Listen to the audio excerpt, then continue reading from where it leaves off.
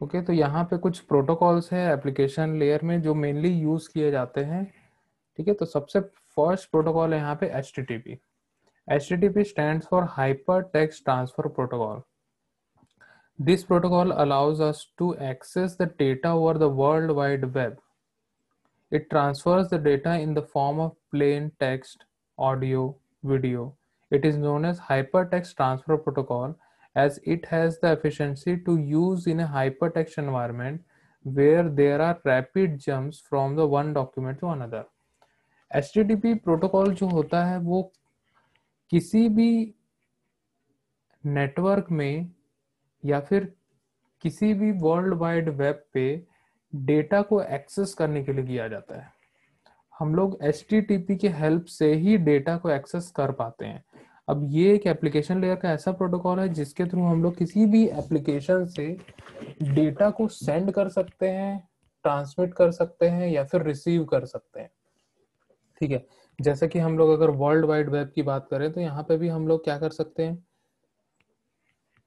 हम लोग अपने प्रोटोकॉल्स को यूज़ करके हम लोग टेक्स्ट को शेयर कर सकते हैं ऑडियो को शेयर कर सकते हैं वीडियो को शेयर कर सकते हैं, किसी भी डॉक्यूमेंट को शेयर कर सकते हैं। ठीक है? सारी शेयरिंग पॉसिबल हो पाती है इस एच प्रोटोकॉल से। लाइक like जैसे कि हम लोग ने कोई भी वेबसाइट देखा, यहाँ पे अगर मैं कोई एक वेबसाइट की बात करूँ, यहाँ पे जैसे मैंने यहाँ हेमचंद यादव का वेबसाइट खोल दिया है तो यहाँ पे भी हम लोग देख सकते हैं कि एच प्रोटोकॉल लगा हुआ है, ठीक है? हर वेबसाइट पे यहाँ पे एच प्रोटोकॉल को यूज़ किया जाता है। यहाँ पे भी अगर देख रहे तो एच प्रोटोकॉल जितनी भी वेबसाइट है, ठीक है, अगर मैं गूगल खोलता हूँ, ठीक है, कोई भी वेबसाइट को अगर हम लोग खोलेंगे तो एच प्रोटोकॉल यूज़ किया जाता है, यहाँ पे देखिए। तो यही रिस्पॉन्सिबल होता है किसी भी डेटा को शेयर करने का। आप यहाँ पे हाइपर टेक्स्ट की बात कर रहे हैं तो हाइपर टेक्स्ट का मतलब क्या होता है? जितने भी इसके अंदर टेक्स्ट दिखते हैं, सब आपस में लिंक होते हैं, ठीक है। इस लिंक के थ्रू ही हम लोग क्या करते हैं? डेटा को एक्सेस कर सकते हैं। जैसे मान के चलिए यहाँ पे क्वेश्चन पेपर्स का है लिंक दिख रहा है, ठीक है? यहाँ पे लिंक दिख रहा है और यहाँ नीचे साइड में अगर देख लेंगे तो H T P S W W dot Durg university show question paper semester इस टाइप का हम लोग को लिंक देखने के लिए मिल जा रहा है।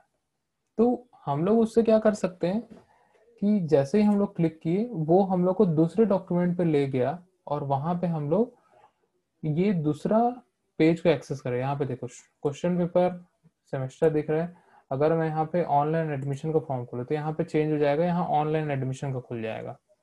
तो ये सारी चीज़ें आपस में लिंक होती है तो ये पॉसिबल कैसे हो पाता है? एच प्रोटोकॉल के थ्रू एच प्रोटोकॉल ही रिस्पॉन्सिबल होता है किसी भी डॉक्यूमेंट को शेयर करने के लिए या फिर रिसीव करने के लिए।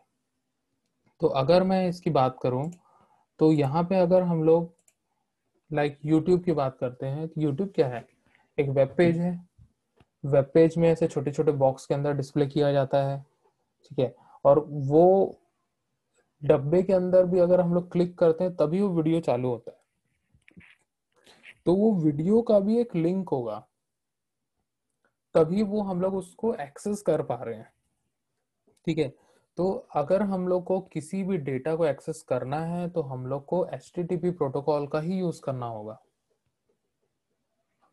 ये था H T T hypertext transfer protocol जिसके थ्रू हम लोग वर्ल्ड वाइड वेब में डेटा को एक्सेस कर सकते हैं। नेक्स्ट प्रोटोकॉल है यहाँ पे S N M P S N M P stand for simple network management protocol it is a framework use for managing the devices on the internet by using the TCP IP protocol speed तो यहाँ पे अगर हम लोग को किसी भी network को मैनेज करना है तो यहाँ पे हम लोग सिंपल नेटवर्क मैनेजमेंट प्रोटोकॉल का यूज़ कर सकते हैं। अब जो भी नेटवर्क हम लोग बनाते हैं, वो दस बारह कंप्यूटर को, पचास कंप्यूटर को, सौ कंप्यूटर को यूज़ करके हम लोग बना सकते हैं, आपस में जोड़ सकते हैं। लेकिन अगर हम लोग को कोई भी ऐसा नेटवर्क बनाना है जिसके अंदर बहुत अलग अलग डिफरेंट डिफरेंट लोकेशन में लोग बैठे हैं, उसका एक अलग से नेटवर्क हम लोग को बनाना है, लाइक एक वर्चुअल नेटवर्क हम लोग को क्रिएट करना है। जैसा कि हम लोग अभी जूम एप्लीकेशन पे ऑनलाइन क्लासेस कर रहे हैं, ठीक है, या फिर हम लोग कोई फेसबुक पे रूम क्रिएट कर रहे हैं, या फिर हम लोग क्या कर रहे हैं व्हाट्सएप में हम लोग ने एक ग्रुप बनाया हुआ है तो वो एक छोटे छोटे वर्चुअल नेटवर्क होते हैं। तो वो नेटवर्क्स को भी मैनेज करने के लिए SNMP का यूज़ किया जाता है। बाकी फ़िज़िकल डिवाइसेस से ही कनेक्टेड हो। वो फ़िज़िकल डिवाइसेस से ही कनेक्टेड फ़िज़िकल डिवाइसेस के अंदर में अलग अलग एप्लीकेशन वहाँ पे बनाए गए अलग अलग एप्लीकेशन से हम लोग डेटा को एक्सेस कर रहे हैं, ठीक है? तो वो नेटवर्क कैसे फॉर्म हो रहा है? वो एप्लीकेशन के थ्रू फॉर्म हो रहा है। तो वहाँ नेटवर्क में हमारा आईपी एड्रेस हमारा मैक एड्रेस हमारा पोर्ट नंबर और हमारा एप्लीकेशन की आईडी जो है, वो सारी चीज़ें शेयर होंगी और उसके थ्रू ही एक नेटवर्क क्रिएट किया जाता है। तो यहाँ पे हम लोग एसएनएमपी का यूज़ करते हैं अपने नेटवर्क को मैनेज करने के लिए। नेक्स्ट आता है S M T P simple mail transfer protocol. Simple mail transfer protocol जो यूज़ होता है, वो मेल को ट्रांसफ़र करने के लिए यूज़ किया जाता है। अब मेल हम लोग हमेशा करते हैं जीमेल हम लोग यूज़ करते हैं याहू मेल यूज़ करते हैं रेडिफ मेल यूज़ करते हैं, ऐसे बहुत सारे ईमेल हम लोग यूज़ करते हैं। ठीक है? तो ईमेल तो लगभग सभी को पता होता है कि ईमेल क्या होता है, जिसके अंदर हम लोग text document, audio, video, images, बहुत सारी चीज़ें हम लोग शेयर कर सकते हैं। अब यहाँ पे एक और एग्जांपल मैं बताता हूँ लाइक हम लोग अगर व्हाट्सएप में किसी को भी मैसेज करते हैं, वो भी ईमेल के थ्रू ही जाता है। फेसबुक में हम लोग मैसेज करते हैं, वो भी ईमेल के थ्रू ही जाता है। ठीक है? जितने भी हम लोग यहाँ चैटिंग एप्लीकेशन यूज़ करते हैं, सबके सब के सब ईमेल का ही यूज़ करते हैं। क्यों यूज़ कर सकते हैं हम लोग? हम लोग एसएमएस क्यों नहीं यूज़ करते हैं?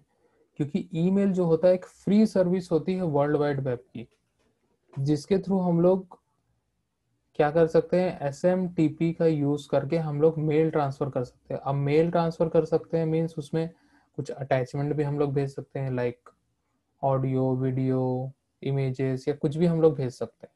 वही सारी चीज़ें हम लोग व्हाट्सएप में भी शेयर कर सकते हैं। हम लोग उसमें ऑडियो शेयर कर सकते हैं, हम लोग उसमें स्टिकर शेयर कर सकते हैं, उसमें हम लोग इमेजेस शेयर कर सकते हैं वीडियो शेयर कर सकते हैं, सारी चीज़ें हम लोग उसमें भी कर सकते हैं। ठीक है? इसीलिए हम लोग को इस टाइप के जो चैटिंग एप्लीकेशन जो होते हैं, वो फ्री ऑफ़ सर्विस हम लोग को देते हैं कि हम लोग जी भर के चैटिंग कर लें उसमें। क्योंकि जब भी हम लोग किसी भी नंबर के थ्रू हम लोग रजिस्टर करते हैं व्हाट्सएप में, वो number at the rate WhatsApp dot com इस टाइप का एक ईमेल आईडी क्रिएट करता है। तो हम लोग को पता भी नहीं होता है कि हम लोग अगले पर्सन से जिससे हम लोग चैट कर रहे हैं, वो ईमेल के थ्रू चैट हो रहा है। वो ईमेल के थ्रू हम लोग चैटिंग पॉसिबल कर पा रहे हैं। हम लोग उसको डायरेक्ट ईमेल ना बोल के हम लोग उसको एक चैटिंग एप्लीकेशन के थ्रू हम लोग मतलब काम वही है, उसको एक नया रूप दे दिया गया है। ठीक है तो हम लोग को अगर कोई भी डॉक्यूमेंट शेयर करना है या फिर हम लोग को ऑडियो वीडियो ऐसा हर चीज़ शेयर करनी है तो हम लोग एसएमटीपी का भी यूज़ कर सकते हैं। नेक्स्ट आता है यहाँ पे domain name system domain name system का मतलब होता है कि an IP address is use to integrate the connection of a host to the internet uniquely but the people prefer to use the name instead of addresses like like, इसका मैं example बताता हूँ। हमने यहाँ पे दुर्ग यूनिवर्सिटी खोला, ठीक है? या फिर हमने गूगल डॉट कॉम खोला। अगर मान के चलिए गूगल डॉट कॉम नहीं लिखना यहाँ पे हम लोग लिखते हैं one ninety eight dot one sixty eight dot something कुछ कुछ कुछ कुछ आईपी एड्रेस दिया हुआ है, ठीक है? हम लोग को ये याद रहेगा कि हमेशा नहीं याद रहेगा। तो हम लोग ने इसको क्या कर दिए? उसको एक नेम दे दिया। हम लोग ने दे दिया W W dot Google dot com हम लोग ने ये नेम दे दिया। ठीक है? इस नेम को जब रिजॉल्व किया जाएगा तो इसके पीछे हम लोग को आईपी एड्रेस मिलेगा। क्या मिलेगा? आईपी एड्रेस मिलेगा। ये आईपी एड्रेस के थ्रू ही हम लोग इस सर्वर को एक्सेस कर सकते हैं। मतलब जहाँ पे भी ये गूगल डॉक गूगल के जो भी वेब डॉक्यूमेंट रखे होंगे वो सारे हम लोग आईपी एड्रेस के थ्रू ही एक्सेस कर सकते हैं। तो यहाँ पे डोमेन नेम सिस्टम क्या बोलता है कि जब भी हम लोग इस टाइप का हम लोग कुछ एक टेक्स्ट लिखेंगे, वो रिजॉल्व करेगा और उसके पीछे एक आईपी एड्रेस से लिंक किया जाता है इसको। मीन्स हम लोग ने लाइक हम लोग जैसे सिंपल सा एग्जांपल देता हूँ, हम लोग फ़ोन नंबर याद नहीं रख सकते आज के जमाने में। ठीक है एक एक आदमी के दो दो तीन तीन नंबर होते हैं, हम लोग याद नहीं रख सकते। हम लोग क्या करते करते हैं, उसको कॉन्टेक्ट से सेव कर लेते कॉन्टेक्ट से सेव कर लेते हैं, ठीक है? तो यहाँ पे भी हम लोग क्या किए हैं आईपी एड्रेस हम लोग याद नहीं रख सकते। हम लोग ने क्या दे दिया, उसको नेम दे दिया, जिसको हम लोग बोलते हैं डोमेन नेम तो यही प्रोटोकॉल यहाँ पे काम करता है कि डोमेन नेम है डोमेन नेम के पीछे आईपी एड्रेस होता है, और उसी आईपी एड्रेस के थ्रू हम लोग इसको रिजोल्व करते हैं। तो यही प्रोटोकॉल होता है डोमेन नेम सिस्टम। नेक्स्ट आते हैं हम लोग टेलनेट। टेलनेट क्या होता है? It is an abbreviation of terminal network it establish the connection between the local computer and remote computer in such a way that the local terminal appears to be terminal at the remote system ठीक है? Telnet जो था, बहुत पहले use किया जाता था, जिसको हम लोग टर्मिनल नेटवर्क यूज़ बोलते टर्मिनल नेटवर्क बोलते थे। अभी वो सारी चीज़ें चेंज हो गई है और इसको बोल दिया गया है, जैसे बहुत सारे एप्लीकेशन आते हैं छोटे छोटे जैसे एमी एडमिन है एनी डेस्क है, या फिर टीम वीवर है रिमोट एप्लीकेशन जो आते हैं, वो सारे टेलनेट ही मतलब टेलनेट जैसे ही काम करते हैं, ठीक है?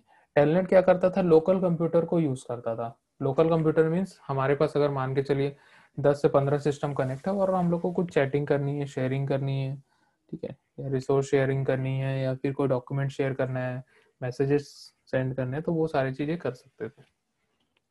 तो वहाँ पे टेलनेट प्रोटोकॉल का यूज़ किया जाता था। नेक्स्ट प्रोटोकॉल है F T P F T P stand for file transfer protocol F T P is a standard internet protocol use to transmitting the files from one computer to another computer अगर हम लोग को कोई भी files को share करनी है over the network या फिर W W W world wide web में हम लोग को शेयर करनी होती है तो हम लोग एफ़ का यूज़ करते हैं फ़ाइल ट्रांसफ़र प्रोटोकॉल का। तो फ़ाइल ट्रांसफ़र प्रोटोकॉल ही रिस्पॉन्सिबल होता है किसी भी फ़ाइल को ट्रांसमिट करने के लिए अपलोडिंग डाउनलोडिंग ये सारी जो हम लोग बोलते हैं तो वो सारी चीज़ें हम लोग को एफटीपी से ही मिलती है। तो ये थे पूरे के पूरे प्रोटोकॉल्स एप्लीकेशन लेयर के